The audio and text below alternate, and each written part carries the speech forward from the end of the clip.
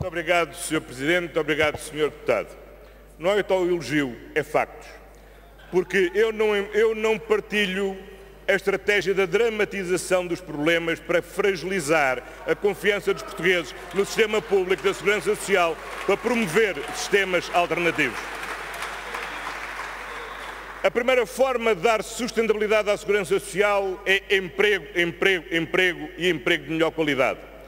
E aquilo que nós confirmamos ao longo dos últimos três anos é que a evolução do mercado de trabalho permitiu fazer com que, ao contrário do que era previsto em 2015, alargar em 11 anos uma segurança social sem déficits, aumentar em 19 anos o período sem que é necessário recorrer ao Fundo de Estabilização Financeira e se assim continuarmos, continuaremos a ganhar aquilo que é necessário ganhar, que é sustentabilidade para a nossa segurança social.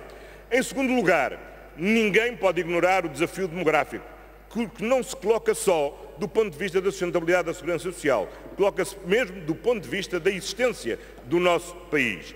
E é por isso que a visão demográfica é uma prioridade definida, por exemplo, na moção que apresentei ao último congresso do meu partido.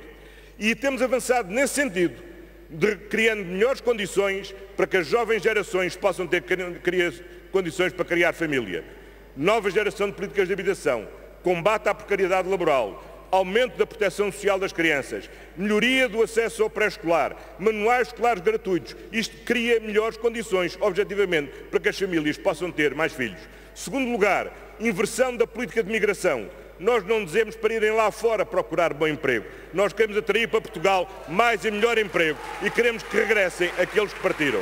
E sabemos também que é necessário atrair aqueles que, que, não sendo portugueses, podem vir contribuir para satisfazer as necessidades do nosso mercado de trabalho. Em segundo lugar, nós temos de melhorar a produtividade das nossas empresas, porque é necessário aumentar em produtividade a riqueza que as contribuições de meramente assentes na massa salarial são insuficientes. Em terceiro lugar, adotámos medidas para diversificar as fontes de financiamento, para não dependerem exclusivamente da massa salarial, mas terem também como fonte de financiamento o lucro das empresas ou então o património dos portugueses.